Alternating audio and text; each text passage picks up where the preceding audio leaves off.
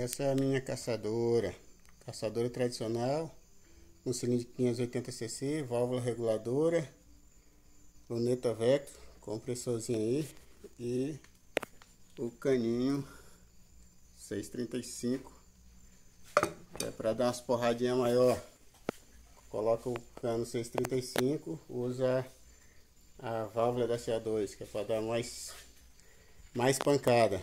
Esse aqui é o equipamento de produção